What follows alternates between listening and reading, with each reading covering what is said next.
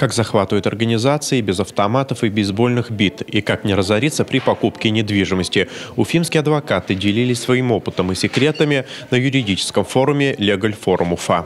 Стрелки, маски-шоу и малиновые пиджаки ушли в прошлое. Но захват предприятий продолжается. Он просто принял другую форму. Теперь рейдеры оделись в пиджаки, галстуки, костюмы и делают это все изящно и законными способами. Вот такое у нас законодательство. По данным Национального антикоррупционного комитета, ежегодно в России фиксируется 70 тысяч рейдерских захватов. Однако до суда доходят единицы.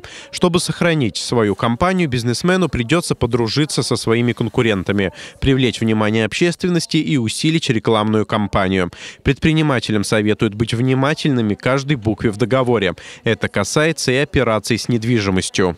Люди лишаются денег в сфере недвижимости, заключая договора аренды и заключая договора купли-продажи, при этом не учитывая кое-какие э, нюансы, которые мы предусматриваем, юристы, адвокаты можем предусмотреть. К нам они не обращаются, самостоятельно действуют и таким образом допускают какие-то оплошности.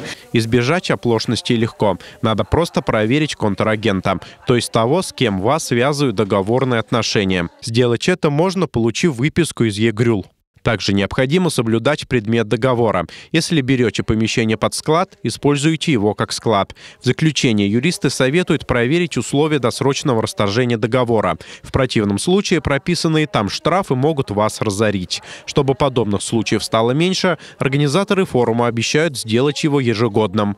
Андрей Шарыгин, Никита Бычков, городской телеканал ЮТВ.